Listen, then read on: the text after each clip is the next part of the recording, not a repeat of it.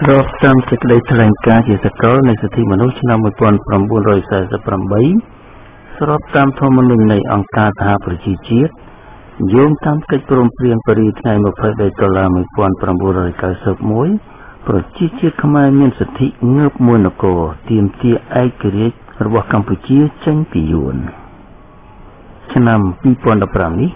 ខ្មែរត្រូវតែងើបជាស៊ូណាមីម្ដងហើយម្ដងទៀតរំដោះប្រទេសរបស់ខ្លួន និងដេញហ៊ុនសែនជន់ផ្ដាច់ការក្បត់ជាតិចេញពីអំណាចឲ្យបានព្រោះហាណូយមិនបានគោរពកិច្ចព្រមព្រៀងប៉ារីសថ្ងៃ23ដុល្លារ1991នេះទេហើយយូនក៏កំពុងតែមើលងាយនិងបង្វិលមតិខ្មែរនិងអន្តរជាតិដើម្បីពង្រឹងអាណានិគមលើប្រទេសកម្ពុជា ចាប់ពីថ្ងៃ7មករា1979មកខ្មែរមិនត្រូវសហការជាមួយរបបសពថ្ងៃនេះទេ ត្រូវពហិការគុំចូលរួមបោះឆ្នោតព្រោះបោះឆ្នោតឬមិនបោះឆ្នោតក៏របបក្បត់ជាតិសពថ្ងៃវាក្រាញក្តាប់អំណាចក្នុងប្រទេសបន្តដើម្បីបំរើអាណានិគមរបស់យួនបើបកប្រជាជនយួនក្រាញក្តាប់អំណាចដោយគ្មានការចូលរួមពីប្រជាជាតិនោះអន្តរជាតិគេនឹងនៅជាមួយប្រជាជាតិខ្មែរខ្មែរត្រូវតែនាំគ្នាងើបធ្វើបដិវត្តការជូក បន្តិចម្ដងបន្តិចម្ដងឈលលើស្មារតីកិច្ចព្រមព្រៀងប៉ារីប្រកាសលុបសន្ធិសញ្ញាខ្មែរយួនចោលចេញដើម្បីដោះស្រាយបញ្ហាធំធំជាមុនដូចជាឯករាជ្យពរណភាពទឹកដីឲ្យបានក្នុងរយៈពី2ទៅ3ឆ្នាំ សូមជូនរួមជាតិស្ដាប់ការវិភាគរបស់លោកឧចោដូចតទៅ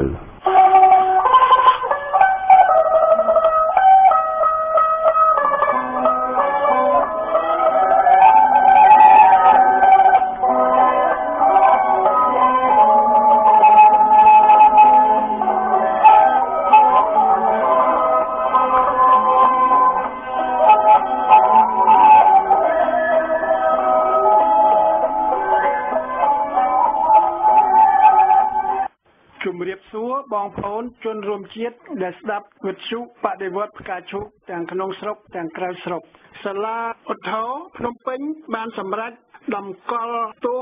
អ្នកភូមិបង្កក់10នាក់និងព្រះសង្ឃខ្លះទៀតនិងបន្ធូរបន្ថយទោសខ្លះពលគឺរក្សាទោស1ឆ្នាំឬបន្ថយទោសមកត្រឹម7ខែកាត់បន្ថយពីនៃ2លានរៀលមកត្រឹម1លានរៀលកន្លះឡាគឺជាតុលាការបាយលុកបាយឡ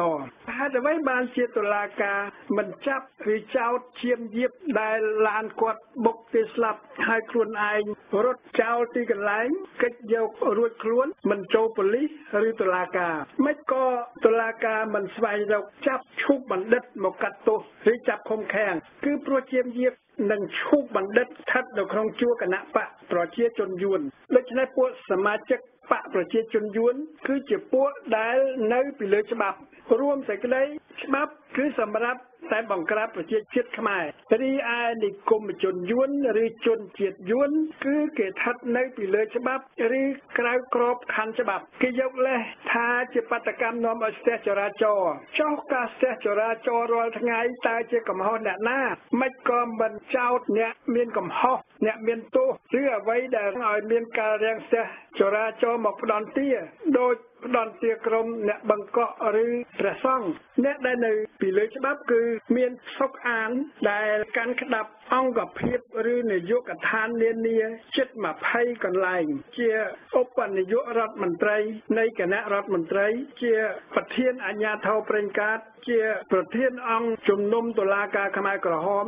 លក្ខនិងលក្ខដូច្នេះអង្គភាពបង្ក្រាបពុករលួយគ្មានប្រសិទ្ធភាពមិនហ៊ានបង្ក្រាបអំពើពុករលួយ ក្នុងប្រទេសទៅលើមន្ត្រីបកប្រជាជនយួនទេ មានគ្រួសារហ៊ុនសែនក្រុមសុកអាននោះទេរីឯរដ្ឋាភិបាលគឺដើម្បីបង្ក្រាបរាជខ្មែរពុំមែនដើម្បីបំរើជីវភាពសិទ្ធិសេរីភាពលទ្ធិប្រជាធិបតេយ្យប្រជាជាតិខ្មែរទេ ក្នុងសប្តាហ៍នេះប្រជាជាតិខ្មែរបានមើលឃើញចលនាទ័ពខេមរៈភូមិន្ទនិងទ័ពយួននៅស្រុកខ្មែរតាមផ្លូវជាតិពីប្រទេសយួនមកប្រទេសកម្ពុជាតើតែហ៊ានទាំងអស់គេចូលមកពង្រាយបំភ័យរាជខ្មែរក្នុងប្រទេសខ្មែរទាំងមូលតើមានរឿងអ្វីនឹងកើតមានឡើងសប្តាហ៍គឺចិនគឺយួនដែលជួយត្រួតត្រងកងទ័ពខ្មែរដែលមានមុខងារសម្រាប់ពង្រឹងរបបផ្ដាច់ការខ្មែរនៅក្នុងប្រទេសកម្ពុជាហ៊ុនសែនទាបាញ់សៅសុខាវាយក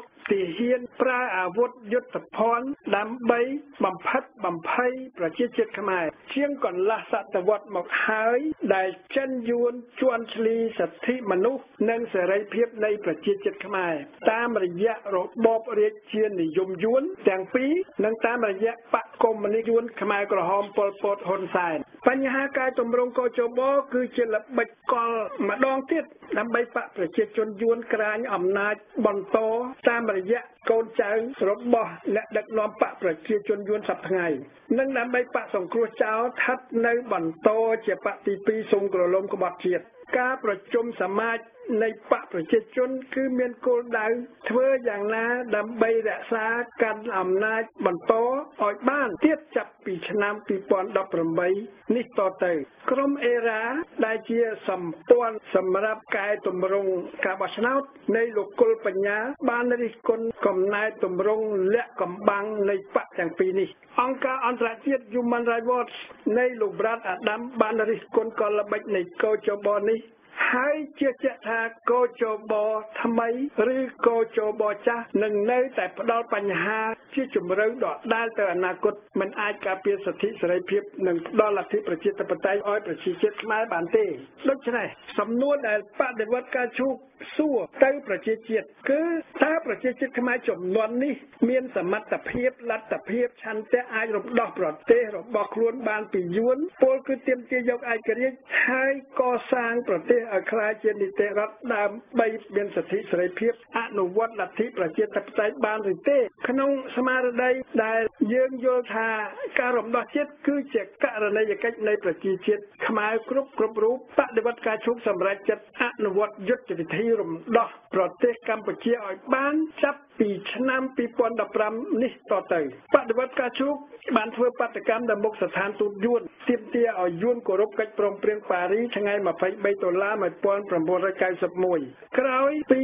បានប្រកាសជាឧឡារិក ដាក់ជាសំណួរទុកពេលមួយខែឲ្យស្ដេចសីហមុនីហ៊ុនសែនសំរងស៊ីកែមសខាអ្នកដឹកនាំខ្មែរតាមសំណួរថាហេតុអ្វីបានជាស្ដេចនិងអ្នកដឹកនាំខ្មែរសំរងស៊ីកែមសខាហ៊ុនសែនក្នុងសភាទាំងពីរក្នុងរដ្ឋាភិបាលចៅមិននាំគ្នាលុបចោលសន្ធិសញ្ញាចាស់ចាស់ចោលចេញរយៈពេលមួយខែក្រោយពីចោតសំណួរជាអូឡារិកនេះមក យើងបានធ្វើបដកម្មម្ដងទៀតនៅមុខស្ថានទូតខ្មែរគឺក្រោយពីអសានវិទ្យមួយខែហេតុអ្វីបានជាយើងធ្វើយ៉ាងនេះព្រោះគឺប្រជាជាតិដែលជាអ្នកអាចរំដោះ ប្រទេសកម្ពុជាពីយួនបានព្រោះគឺប្រជាជាតិដែលសប្តាហ៍ជាអ្នកកំពុងជាប់ឃុំជាទាសករនៅក្នុងប្រទេសរបស់ខ្លួនព្រោះកម្ពុជាជាប្រទេសស្ថិតក្នុងអាណានិគមយួនដោយអ្នកដឹកនាំគ្រប់និន្នាការសប្តាហ៍ជួយពង្រឹងដោយផ្ទាល់និងដោយប្រយោលដូច្នេះ ប្រជាជាតិខ្មែរទូទាំងប្រទេសមានសិទ្ធិទី1ត្រូវដេញយួនឲ្យបានព្រោះជាករណីយកិច្ចនៃប្រជាជាតិខ្មែរទោះត្រូវការប្រើពេលយូរឬឆាប់ក៏ដោយទី2ត្រូវដេញអ្នកដឹកនាំខ្មែរគ្រប់ប្រភេទសពថ្ងៃឲ្យចេញពីអំណាចឲ្យបានព្រោះវាជាពួកកញ្ជះយួនទាំងបកប្រជានិយមយួនហ៊ុនសិនពេជ្រទាំងបកប្រជាជនយួនទាំងបកសង្គ្រោះចៅអាយ៉ងយួនពលគឺគេត្រូវឈប់ផ្ដល់អំណាចជាដាច់ខាត ទៅឲ្យពួកក្បត់ជាតិទាំងនេះទី3ពេលទទួលបានជ័យជំនះត្រូវប្រគល់អំណាចនានាឲ្យក្រុមប្រឹក្សាជាតិអន្តរកាលដើម្បីដឹកនាំការរំដោះ ឲ្យដល់គោលដៅទាំង3ខាងលើនិងដើម្បីដោះស្រាយបញ្ហាទូទៅនានាក្នុងឋានៈជារដ្ឋាភិបាលបណ្ដោះអាសន្នក្នុងរយៈពេលអន្តរកាលពី2ទៅ3ឆ្នាំយ៉ាងយូរយុទ្ធវិធីរំដោះនេះគឺមានគោលដៅជាជំហានទី1គឺប្រាប់យួននិងអន្តរជាតិនិងអ្នកដឹកនាំខ្មែរថាប្រជាជាតិខ្មែរត្រូវការទាមទារយកឯករាជ្យមាតុប្រទេសមកវិញជំហានទី2គឺប្រជាជាតិខ្មែរប្រើសិទ្ធិសេរីភាពមនុស្សដើម្បីទាមទារយកឯករាជ្យប្រទេសដោយសន្តិវិធីជាដំបូងជំហានទី3ប្រាប់ប្រជាជាតិខ្មែរទាំងមូលថាយើងទាមទារឲ្យអ្នកដឹកនាំខ្មែរគោរពសិទ្ធិសេរីភាពដើម្បីឲ្យអនុវត្តលទ្ធិប្រជាធិបតេយ្យក្នុងសន្តិវិធីសំណួរដែលខ្មែរយើងទាំងអស់គ្នាត្រូវសួរខ្លួនឯងហើយត្រូវយកចម្លើយមកអនុវត្តគឺតើត្រូវធ្វើសកម្មភាពអ្វីខ្លះ ដែលជាសិទ្ធិសេរីភាពមនុស្សជាតិដែលអាចបង្ខំយួនហាណូយឲ្យប្រគល់ឯករាជ្យឲ្យខ្មែរនិងប្រាប់អ្នកដឹកនាំខ្មែរនិងអ្នកដឹកនាំអន្តរជាតិឲ្យជួយទាមទារឯករាជ្យពីយួនយ៉ាងខ្លាំងក្លាតើយើងត្រូវធ្វើអ្វីខ្លះជាបន្តដើម្បីចាក់គ្រឹះរបបការពារសិទ្ធិសេរីភាពលទ្ធិប្រជាធិបតេយ្យក្នុងនាមខ្មែរជាមនុស្សជាតិទី3ថាយើងត្រូវធ្វើអ្វីខ្លះបន្តទៀតក្នុងក្របខ័ណ្ឌសិទ្ធិមនុស្ស និងកិច្ចព្រមព្រៀងប៉ារីដើម្បីចាក់គ្រឹះអនុវត្តលទ្ធិប្រជាធិបតេយ្យរៀបចំការបោះឆ្នោតតាក់តែងរដ្ឋធម្មនុញ្ញបង្កើតរបបថ្មីធ្វើច្បាប់បោះឆ្នោតថ្មីឬសភាទាំងពីរថ្មី និងស្ថាប័នឯករាជ្យនានាដទៃទៀតសម្រាប់ជាគ្រឹះនៃប្រជាជាតិខ្មែរទៅអនាគតក្នុងបរិបទនេះ សំណួរបន្តដើម្បីសម្រេចគោលដៅខាងលើគឺថាតើអ្នកណាជាសត្រូវរបស់ខ្មែរសត្រូវគឺមួយយួនវាបង្កើតគណៈបកប្រជាជនយួនជាងកន្លះសតវត្សមកហើយដើម្បីលេបប្របាក់យកប្រទេសកម្ពុជាយួនឆក់យកឱកាសនានាជាច្រើនលើកមកហើយហើយឱកាសចុងក្រោយគឺនៅចុងឆ្នាំ1978ដើម្បីវាចូលមកឃ្លានពានប្រទេសខ្មែរដាក់បន្ទប់ប៉ែនសវណ្ណហ៊ុនសែនជាសឹមហេងសំរិនលាក់ ឲ្យកាន់អំណាចនៅប្រទេសកម្ពុជា ទី1យួនធ្វើសន្ធិសញ្ញា1979 1982 1983 1985និងធ្វើសន្ធិសញ្ញាបន្ថែម2005យ៉ាងប្រហើន ក្រោយពីកិច្ចព្រមព្រៀងប៉ារីថ្ងៃ23ដុល្លារ1991ទី2អ្នកដឹកនាំខ្មែរសប្តាហ៍ក្បត់ជាតិគឺបកប្រជាជនយួនបរិជានិយមយួនហ្វុនសិនពេចបកសុំក្រលុំក្បត់ជាតិសង្គ្រោះចោលសំរងស៊ីកែមសខាទី3ច្បាប់ដែលសភាខ្មែរបាននាំគ្នាបង្កើតគឺសម្រាប់បំរើពង្រឹងអាណានិគមយួនឬមិនអោយប្រជាជាតិខ្មែរឬបំរើរួចជាច្បាប់កម្រិតសិទ្ធិសេរីភាពប្រជាជាតិឧទាហរណ៍មិនអោយខ្មែរធ្វើបាតកម្មឃោសនាបោះឆ្នោតព្រោះនាំឲ្យស្ទះចរាចរណ៍មិនអោយសង្គមស៊ីវិលរិះគន់បកនយោបាយនានានេះគឺបកសង្គ្រោះចោលនិងបកប្រជាជនយួនបានអនុម័ត ច្បាប់ស្ដីពីដំណើរការតុលាការដែលបកប្រជាជនយួនបានអនុម័តមុនពេលបកសង្គ្រោះចោលចូលក្នុងសភាដើម្បីដាក់ប្រជាជាតិឲ្យคล้ายជាទេសកលក្នុងរដ្ឋ សប្តាហ៍ទី4ដូច្នេះតុលាការរដ្ឋបាលទ័ពប៉ូលីសនគរបាលកងរាជអាវុធហត្ថគឺជាឧបករណ៍នៃរបបផ្ដាច់ការដើម្បីហ៊ុនសែនពង្រឹងអាណានិគមយួនបន្តនិងប្រគល់អំណាចលាលាទៅឲ្យកូនចៅខ្លួនសង្បកប្រជាជនយួននិយាយពីប្រទេសយួនគឺជាប្រទេសអាណានិគមកុម្មុយនីសសម័យថ្មីហួសសម័យធ្វើអាណានិគមមកលើប្រជាជាតិខ្មែរវាខំលាក់បំបាំងពីផ្នែកអន្តរជាតិ តែអន្តរជាតិគេនឹងមិនគ្រប់គ្រងវាទេ វានឹងចាញ់ខ្មែរតាមផ្លូវច្បាប់ផ្លូវសិទ្ធិមនុស្ស តែយួនវាត្រួតក្បាលហ៊ុនសែនបកប្រជាជនយួនដែលត្រួតត្រាបែបផ្ដាច់ការលើប្រជាជាតិខ្មែរគឺយួនដែលត្រួតត្រាទ័ពប៉ូលីសនគរបាលកងរាជអាវុធហត្ថដោយប្រើឧត្តមសេនីយ៍នានាដូចទាបាញ់សៅសុខាប្រើយុទ្ធវិធីដូចហ៊ីតលែរបង្ក្រាបប្រជាជាតិឯងយួនត្រួតត្រាស្ដេចសីហនុនិងស្ដេចសីហាម៉ានីទីងមងធ្វើជាឈ្នន់អាណានិគមយួនយួនត្រួតត្រាប្រជាជាតិខ្មែរតាមវិធីយួននុបនីយកម្មូជសាសន៍នៅកម្ពុជាតាមរដ្ឋបាល តាមសេដ្ឋកិច្ចតាមប្រជាជន តាមផលិតផលកសិកម្មឧស្សាហកម្មកសិឧស្សាហកម្មអ្នកណាជាអ្នកដឹកនាំខ្មែរក្បត់ជាតិជាង36ឆ្នាំមកហើយដែលអ្នកដឹកនាំខ្មែរសំពឹកភ្លើមិនរើបំរាស់ការពារប្រទេសការពារជនជាតិខ្មែរទីមួយគឺបកប្រជាជនយួនដែលមានហ៊ុនសែនជាសឹមហេងសំរិនវ៉ាកំហុងសខេងទាបាញ់ខៀវកញ្ញរិទ្ធ សៅសុខាហោណាំហុងសុកអានម៉ែនសំអានលក្ខជាអ្នកដឹកនាំទី2បករាជានិយមយួតហ្វុនសិនពេជ្រដែលមានសីហមនីជាស្ដេចទីមង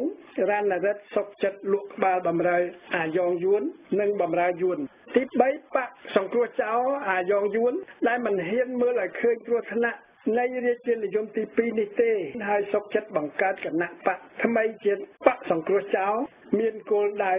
មិនយកខ្មែរណាធ្វើជាសត្រូវទោះជាខ្មែរទាំងនោះក្បត់ជាតិពុករលួយក៏ដោយដូច្នេះសំរងស៊ីកែនសុខាក៏คล้ายជាក្រុមក្បត់ជាតិពុករលួយទាំងបៃទាំងត្រោដូច គណៈបកប្រជាជនយួនគណៈបករាជានិយមយួនដូច្នោះដែរគឺរបបរាជានិយមទី2ទាំងមូលដែលជាសត្រូវប្រទេសខ្មែរនិងសត្រូវប្រជាជាតិខ្មែរខ្មែរត្រូវតាក់តែងរើសយករបបថ្មីមួយគឺរបបសាធារណរដ្ឋឯករាជ្យ ជាតិនិយមរស់ក្នុងសហគមន៍អាស៊ានបកតូចតូចនានាដទៃទៀតដែលបំរុងធ្វើជាបកមកមានចូលភ្លើងនាំគ្នាគោរពច្បាប់រដ្ឋអំណាចអាណានិគមជួយពង្រឹងនាំឲ្យប្រជាជាតិខ្មែរនិងប្រទេសស្លាប់ជ្រៅទៅជ្រៅទៅអ្វីជាស្ថាប័នក្បត់ជាតិជាឧបករណ៍យួននុបពាណិជ្ជកម្មបំរើអង្គើផ្ដាច់ការនិងបំរើយួន មានទាហានជាកងទ័ពជាតិប៉ូលីសនគរបាលកងរាជអាវុធហត្ថដែលមានហ៊ីមលែរាប់រយរាប់ពាន់អ្នកដែលជាដៃជើងហ៊ុនសែនហ៊ីតឡែដូចសៅសុខាដូចទាបាញ់លាក់ពួកគេបំរើហ៊ុនសែនបកប្រជាជនបំរើយួនដើម្បីបង្ក្រាបប្រជាជាតិខ្មែរពុំមែនដើម្បីរក្សាសន្តិសុខការពារសិទ្ធិសេរីភាពនៃប្រជាជាតិខ្មែរទេ ស្ថាប័នឧបករណ៍ក្បត់ជាតិនានាគឺមានតុលាការដែលគ្រាន់តែអ្នកភូមិបង្កក់តវ៉ាពីរឿងទឹកលិចលើទីកន្លែងគេរស់នៅតុលាការចាប់គេដាក់គុករាប់ឆ្នាំនិងពិន័យជាប្រាក់រាប់លានរៀលទៀតផង ការរាំងស្ទះចរាចរណ៍នៅភ្នំពេញនឹងរឹតតែធ្ងន់ធ្ងរបន្តទៀតតើជាកំហុសអ្នកធ្វើចរាចរណ៍ជាកំហុសអ្នកណាតែការបង្កស្ទះចរាចរណ៍អាចចាត់ទុកជាកំហុសបទព្រហ្មទណ្ឌឬទេ ស្ថាប័នដទៃទៀតគឺស៊ីសីការរដ្ឋមន្ត្រីនានាដែលជាឧបករណ៍ប្រព្រឹត្តអំពើពុករលួយបំរើអ្នកដឹកនាំជាឧបករណ៍ការពារអំពើផ្ដាច់ការបំរើយន្តពាណិជ្ជកម្មដូចជាក្រសួងមហាផ្ទៃដែលបានចែកអត្តសញ្ញាណប័ណ្ណសិភៅគ្រួសារបានបោះឆ្នោតឲ្យជនជាតិយួនហើយមិនត្រួតពិនិត្យទប់ស្កាត់លំហូរចូលនៃជនជាតិយួនមកស្រុកខ្មែរទេ ក្រសួងការបរទេសខ្មែរបម្រើនយោបាយអន្តរជាតិរបស់យួនជួយបំភាន់បន្លំមតិអន្តរជាតិ ស្ដីពីការរាតត្បាតរបស់យួនមកលើប្រទេសខ្មែរពាណិជ្ជកម្មនិងទំនិញយួនហូរចូលក្នុងស្រុកខ្មែរដោយគ្មានការទប់ស្កាត់ត្រួតពិនិត្យទោះជាផលិតផលផ្ទុកទៅដោយជាតិគីមីឬក៏ហួសថ្ងៃខែក៏ដោយដូចផលិតផលកសិកម្មឧស្សាហកម្មសិប្បកម្មកសិឧស្សាហកម្មឡាក់រដ្ឋបាលខ្មែរទូទាំងប្រទេសគឺតាមខេត្តតាមស្រុកតាមក្រុងតាមខណ្ឌឃុំភូមិអ្នករដ្ឋការជាជនជាតិយួនកំពុងកាន់ក្តាប់និគមជនខ្មែរយួននៅក្នុងស្រុកខ្មែរយ៉ាងមាំច្បាប់ក្នុងប្រទេសខ្មែរគឺបំរើននយោបាយផ្ដាច់ការហ៊ុនសែនបកប្រជាជនយួនឧទាហរណ៍គេអាចបង្កើតច្បាប់ដាក់ទណ្ឌកម្មទំនាក់ទំនងស្រីញីដើម្បីដាក់ទោសបំផ្លាញរណរិទ្ធក្នុងបកហ៊ុនស៊ិនពេជ្រគេបង្កើតច្បាប់សម្រាប់ចាប់កាមសខាដែលបានអះអាងថាទួស្លែងគឺជាគុកសពនិមិត្តគេបង្កើតច្បាប់មិនអោយសង្គមស៊ីវិលរិះគន់គណៈបកនយោបាយនៅសម័យបោះឆ្នោតតែច្បាប់នានាដែលត្រឹមត្រូវល្អមិនបានត្រូវអនុវត្តលើពួកវាទេដូច្នេះគឺជាច្បាប់នៃក្រមក្បត់ជាតិកញ្ជះយួនដើម្បីបម្រើការពារក្រមពុករលួយបូកជាមួយការអនុវត្តច្បាប់ធូររលុងទៅលើអុកញ៉ាម៉ាហ្វីយ៉ានានា លើមេដឹកនាំគណៈបកប្រជាជនយួនលើទាហានឧត្តមសេនីយ៍នាំឲ្យអ្នកដឹកនាំពុករលួយនានាសបាយត្រេកត្រអាលក្នុងនិទណ្ឌភាពដោយសត្វកញ្ជ្រោងក្នុងទ្រង់មន់សប្តាហ៍រដ្ឋខ្មែរទាំងមូលគឺជាឧបករណ៍បម្រើយន្តពាណិជ្ជកម្មគឺប្រទេសកម្ពុជាជាអនិតិរដ្ឋព្រោះសភាទាំងពីរជាសភាអាយ៉ងសភាចៅព្រោះសប្តាហ៍ខ្មែរមានរដ្ឋាភិបាលចៅនាយករដ្ឋមន្ត្រីចៅមានប្រធានរដ្ឋសភាអនុប្រធានរដ្ឋសភាចៅទោះជាសំរងស៊ីក៏ជាតំណាងរាស្ត្របនិមិត្តដែរដែលបានក្លាយជាតំណាងរាស្ត្រក្នុងសភាចៅហើយឥឡូវមានឋានៈស្មើនាយករដ្ឋមន្ត្រីចៅហ៊ុនសែនគឺជារដ្ឋឧបករណ៍បំរើអ្នកដឹកនាំផ្ដាច់ការក្បត់ជាតិពុករលួយ ដែលសុំក្រឡុំជាមួយវិនិយោគចិនយួន ដែលខុបខិតជាមួយមេម៉ាហ្វីយ៉ាដែលបំរើគ្រួសារហ៊ុនសែនដែលជាបកប្រជាជនយួន គឺជាឧបករណ៍បង្ក្រាបប្រជាជាតិខ្មែរដែលពុំគ្រប់គ្រងរបបក្បត់ជាតិហើយនាំគ្នាងើបរើបំរាស់ពីពីអាណានិគមជាបដិវត្តតើខ្មែរត្រូវធ្វើអ្វីខ្លះដើម្បីដោះស្រាយរំដោះប្រទេសទាមទារឯករាជ្យគឺត្រូវដេញយួនដេញអាណានិគមយួនដេញវត្តមានទាហាននិងភ្នាក់ងារយួន បំផ្លាញប្រយោជន៍សេដ្ឋកិច្ចនៃជនជាតិយួន និងបំផ្លាញប្រយោជន៍នៃប្រទេសយួន ក្នុងស្រុកខ្មែរអសហការបំផ្លាញរបបរាជានិយមទី2ដែលខំពង្រឹងអាណានិគមយួន ប្រឆាំងខ្មែរតស៊ូរំដោះត្រូវអសហការដេញអ្នកដឹកនាំខ្មែរក្បត់ជាតិនានាក្នុងរដ្ឋបាលក្នុងសភា ក្នុងរដ្ឋការអាយ៉ងត្រូវតែរំលាយរដ្ឋបាលឬអសហការប្រឆាំងរដ្ឋបាលកំពុងក្បត់ជាតិពុករលួយបំរើអាណានិគមយួនរំលាយឬអសហការប្រឆាំងសភាទាំងពីរអសហការប្រឆាំងរដ្ឋាភិបាលចៅកញ្ជាយួនដេញបរទេសសុំកលុំជាចិនយួនដេញបរទេសសុំកលុំជាមួយអ្នកដឹកនាំខ្មែរដែលមានខ្លួនខ្មែរក្បាលយួនក្បត់ជាតិពុករលួយពហិការនិងអសហការគឺឈប់បន្តពង្រឹងអំណាចផ្ដាច់ការហ៊ុនសែនបញ្ចូលរួមបោះឆ្នោតក្នុងរបបបញ្ជាយួនជាមួយហ៊ុនសែនបកប្រជាជនយួនអសហការបែបនេះ មានឥទ្ធិពលអាចឈប់បន្តពង្រឹងអាណានិគមយួន បង្ហាញឲ្យអន្តរជាតិមើលឃើញថាយួនធ្វើអាណានិគមលើប្រទេសខ្មែរខ្មែរត្រូវតែឈប់បន្តគ្រប់គ្រងបកសង្គ្រោះចោលបរិជានិយមយួនឬបកនានាដែលនឹងចូលរួមបោះឆ្នោតទៅអនាគតគឺឈប់ចូលរួមបោះឆ្នោតនានាព្រោះទោះជាបោះឆ្នោតឬមិនបោះឆ្នោតហ៊ុនសែនបកប្រជាជននិងបកសុំក្រលុំយួនក៏វានឹងបន្តក្តោបអំណាចដដែលបើវាក្តោបអំណាចដោយប្រជាជាតិខ្មែរមិនបានចូលរួមបោះឆ្នោតនោះគឺអន្តរជាតិដែលនឹងវិនិច្ឆ័យលើរបបផ្ដាច់ការនិងលើអាណានិគមយួនអ្វីជាពហិការគឺការឈប់ទៅបោះឆ្នោតនេះឯងទី1ព្រោះការចូលរួមបោះឆ្នោតគឺជាការជួយពង្រឹងរបបផ្ដាច់ការបន្តទៀតពង្រឹងអាណានិគមយួនឲ្យរឹងមាំគ្រប់គ្រងនិងពង្រឹងពួកសុំក្រលុំក្រុមក្បត់ជាតិយល់ព្រមឲ្យរដ្ឋកញ្ជះយួនបង្កើតច្បាប់បំរើអាណានិគមយួននិងក្រុមផ្ដាច់ការបន្តតហេកា គឺត្រូវធ្វើរួមជាមួយបាតកម្មនៃប្រជាជាតិខ្មែរទាំងមូលដោយសន្តិវិធីជាដំបូងគឺបង្ហាញពីការដែលប្រជាជាតិខ្មែរមានសិទ្ធិសេរីភាពជាមនុស្សជាតិដើម្បីធ្វើកុំឲ្យរបបផ្ដាច់ការរស់បានកុំឲ្យរបបអាណានិគមយួនមានដំណើរការបានកុំឲ្យក្រុមក្បត់ជាតិបន្តជិះជាន់ប្រជាជាតិខ្មែរបានកុំឲ្យមានវត្តមាននិគមជនអាណានិគមយួនរស់ដោយសុខសាន្តលើទឹកដីស្រុកខ្មែរកុំឲ្យយួនបន្តកាន់កាប់ដីព្រំប្រទល់កាត់យកកោះត្រល់កោះនានាដែលហាក់ដូចជា មានន័យថាប្រជាជាតិខ្មែរទាំងមូលយល់ព្រមឲ្យយួនយកទឹកដីខ្មែរទាំងនោះដោយគ្មានតវ៉ាបដកម្មស៊ូណាមីគឺជាលក្ខខណ្ឌចាំបាច់បញ្ចប់ដើម្បីបានជ័យជំនះដោយអហិង្សានិងឈរលើកិច្ចព្រមព្រៀងប៉ារី23ដុល្លារ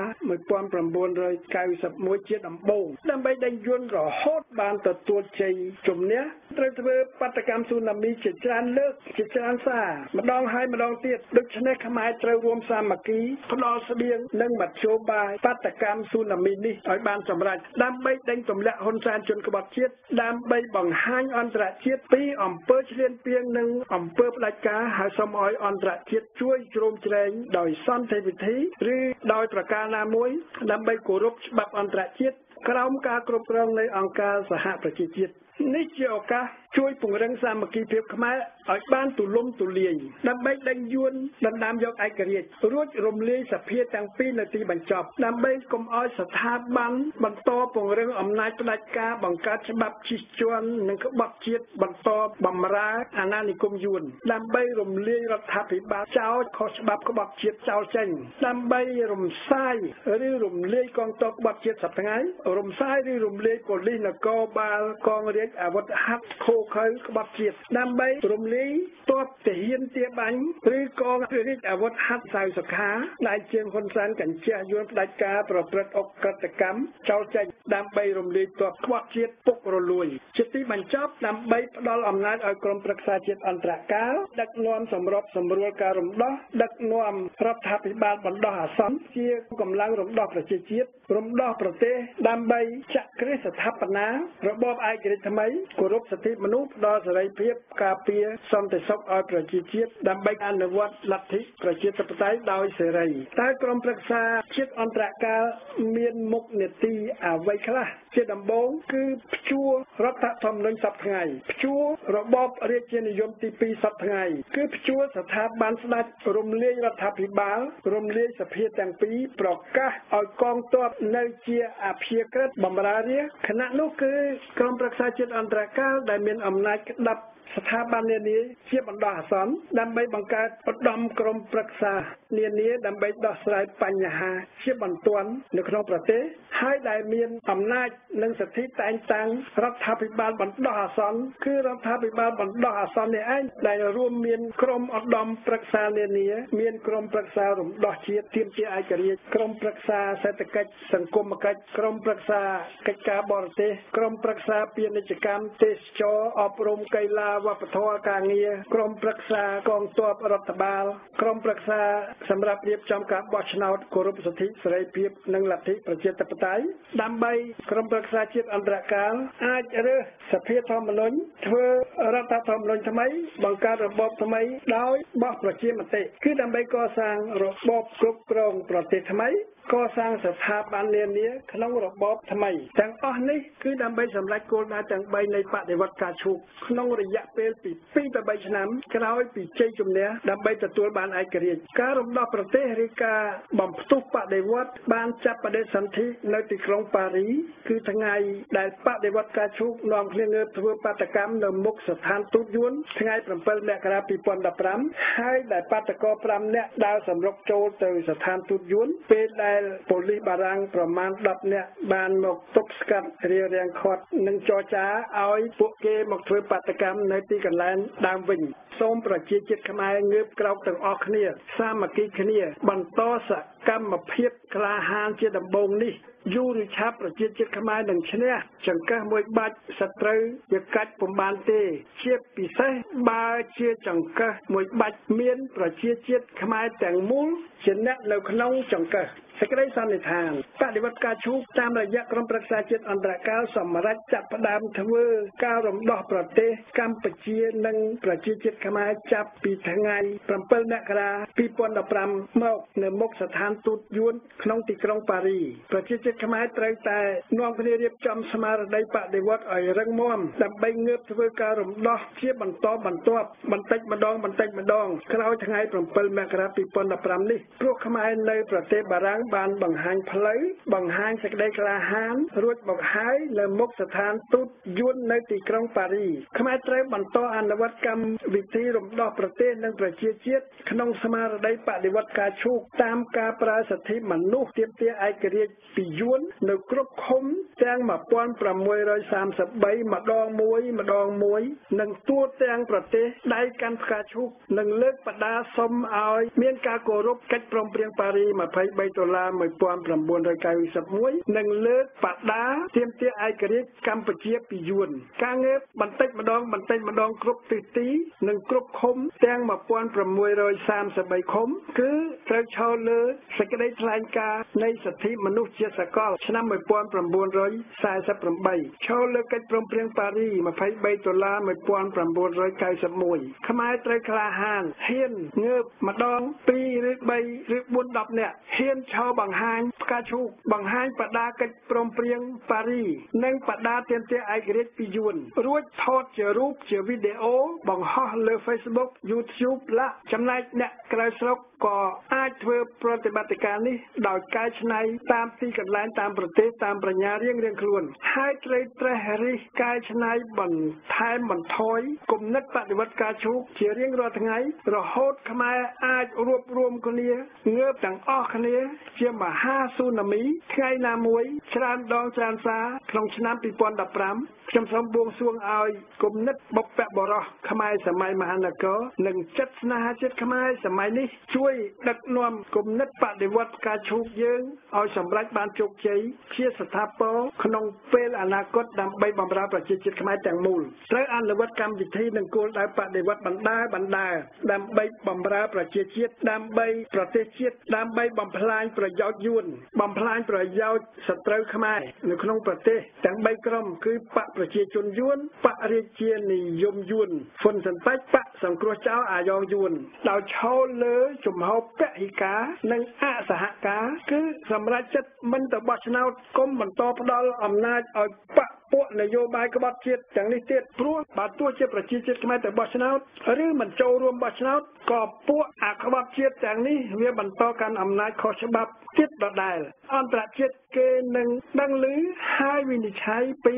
និត្យានុកូលភាពពីអនិតិរដ្ឋនិងកង្វះលទ្ធិប្រជាធិបតេយ្យដែលវាមិនគោរពសិទ្ធិសេរីភាព ដែលវាជារបបផ្ដាច់ការហើយប្រជាជាតិខ្មែរយើងនឹងឈ្នះព្រោះយើងជាម្ចាស់អំណាចពេលនោះហ៊ុនសែនក្បត់ជាតិនិងបកប្រជាជនយួនជាមួយបករាជានិយមយួននិងបកសង្គ្រោះចោលអាយ៉ងយួនដែលហ៊ានបន្តកាន់អំណាចដោយខុសច្បាប់និងត្រូវចោះចាញ់ប្រជាជាតិខ្មែរដោយអាចឯងជាស្ថាពរដូច្នេះប្រជាជាតិខ្មែរអាចបន្តជេរប្រតិចដាក់បណ្ដាសាលើពួកវាជារៀងរាល់ថ្ងៃតទៅទៀតព្រោះពួកវានឹងមិនអាចមានមុខក្រាស់ហ៊ានបន្តស៊ីខ្ទុះស៊ីឈាមប្រជាជាតិខ្មែរបន្តទៀតបានឡើយពលគឺពួកក្បត់ជាតិនឹងស្លាប់ក្នុងជីវិតនយោបាយរបស់វាទើបអាណានិគមយួននឹងហិនហោចស្លាប់ពីស្រុកខ្មែរដូច្នេះខ្មែរត្រូវតែក្លាហានត្រូវងើបចាប់ផ្ដើមធ្វើបដិវត្តផ្កាឈូករំដោះប្រទេសតាមការទៀមទាឯករាជ្យពីពេញប្រទេសដៃកាន់ផ្កាឈូក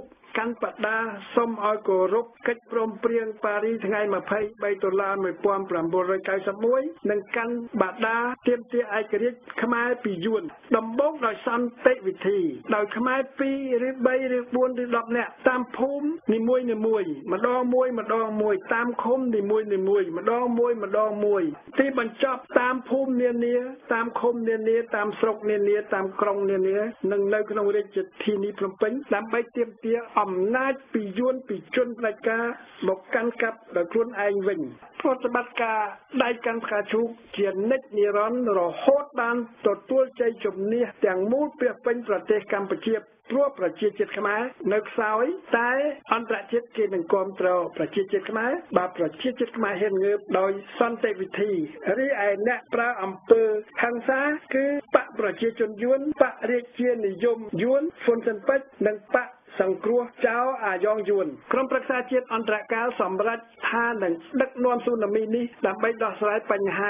ជាតិទាំង3ខាងលើជាបន្ទាន់ក្នុងសាមគ្គីភាពនៃប្រជាជាតិខ្មែរដ៏ទូលំទូលាយដោយយកភាសាខ្មែរធ្វើស្រែនឹងទឹកធ្វើសឹកនឹងបាយហើយអំពាវនាវបន្តបន្ទាប់ឲ្យខ្មែរសាមគ្គីគ្នាជាកម្លាំងទើបប្រជាជាតិខ្មែរឈ្នះអាចការពារប្រទេសនិងប្រជាជាតិខ្មែរទាំងមូលបានជ័យយោឯករាជ្យកម្ពុជាជ័យយោសាមគ្គីភាពរវាងខ្មែរនិងខ្មែរជ័យយោបដិវត្តការឈូកជ័យយោក្រមប្រឹក្សាជាតិអន្តរកាលជំរាបលាបងប្អូនជនរួមជាតិដែលស្ដាប់វិទ្យុបដិវត្តការឈូកទាំងក្នុងស្រុកទាំងក្រៅស្រុកសូមអរគុណ